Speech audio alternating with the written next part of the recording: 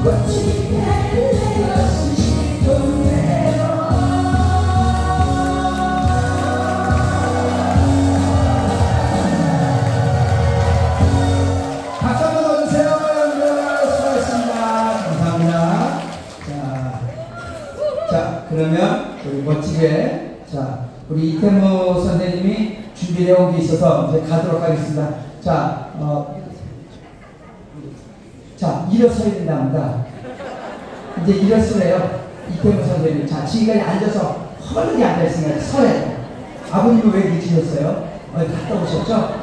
네, 앞자리에 앉기 때문에 다 들켜요. 괜찮습니다. 이렇게 와도 오신 아버님이 더 좋아. 이렇게. 자, 일어서시고요. 자, 어머니 일어서요. 허리 이제 피는 시간이. 지금은 이렇게 눈치 보면 가라는 시간 아니니까. 자, 여러분들 좌양 좌 저쪽으로 보세요. 저쪽 병. 앞에 사람 어깨에다가 등을 두들깁니다. 일단 두들기세요. 일단 두두두두두두. 일단 2단 좀 더 세게